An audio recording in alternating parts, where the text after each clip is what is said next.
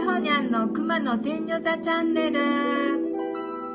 はいしほにゃんです。今日はなんとマムシに噛まれたお話。そして他にもいろいろお話ししたいと思います。天女神楽のお話は以前したと思いますけれども天女神楽のお稽古が終わって皆さんが夜帰られて私が猫が戻ってこないので玄関の外に足を踏み入れた途端になんと足の下にマムシがいましたギャーとなってマムシが私の右足の足の裏をガブッと噛みました私は2階で神楽が終わって宴会をしている男の人たちに向かって「ちょっと来て!」と叫びましたみんながドヤドヤって降りてきて「マムシに噛まれた!」って言ったらある人は「傷口をナイフで切り裂いたら」という人もいてやめてほしいと私は言いました。すると天女神楽を指導していた丹下さんが私の右足の足の裏にかぶりついてチューチューと毒を吸い出してくれたのでしたそれから足を上げろと言われて本当はいけないんですけど右足を上げて病院に行きました。マムシに噛まれたんですと言うと看護師さんがまず破傷風の注射をしてくれました。そして若いお医者さんが私を見て全然足が腫れてないので本当にマムシだったんですかっていうのでマムシぐらいわかりますよと私は言いました。その若いお医者さんマムシに噛まれた人が来たのが初めてで一生懸命パソコンで何やら検索しながらお話をしてました。そして注射をしますよ。チクッとしますよ。と言って私に注射をしましたがあ血が逆流しました。もう一度やってみます。という大変やぶ医者でした。今はマムシの血清は打たないそうです。15分して足が腫れなかったらもう帰ってくださいと言われました。全然足が腫れなかったので私はそのまま天女座に帰りました。次の日私は塩で消毒とか言って海でシュノーケリングをしていました。天女神楽の一員に郵便配達の方がおられました。何日か経ってそのおじさんに会ったら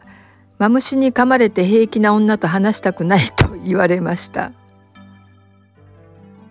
まあ丹下さんが決死の思いで足の裏をチューチュー吸ってくれたおかげでした。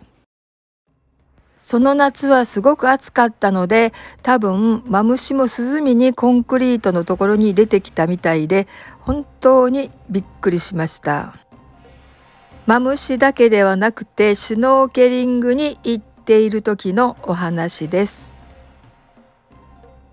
私はマリンブーツを履いて海のそばまで行って海の中に入った途端に足の中で何やらがもぞもぞしてチクチクっと4箇所ぐらい噛まれたのでした。マリンブーツの中になんとムカデがいたんです。私は慌ててマリンブーツを脱ぎました。中に入っていたものは見てないんですけれどもムカデに違いありません。そしてトンちゃんに「トンちゃんムカデに噛まれた!」と言うとトンちゃんが「まあ丘に上がっといたら」というので「えー」って丘に上がって待つくらいなら泳ぐわと言ってそのまま泳いで足がパンパンに腫れましたまあ田舎に住んでるといろんなことがありますねまだまだあります夜に運転中にフロントガラスにいっぱいにいきなり鹿が出てきました。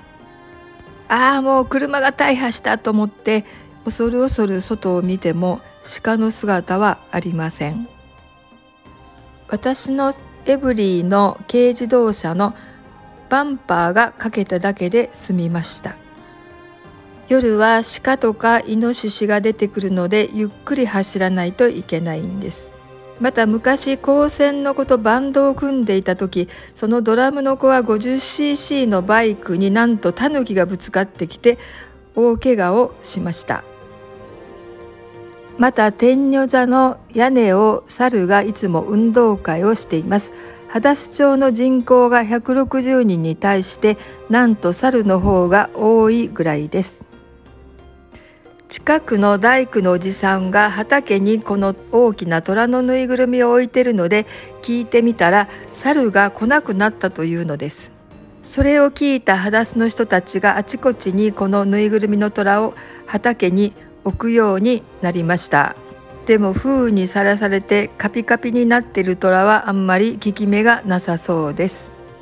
私の顔と比べるとこのぐらいでかい虎です。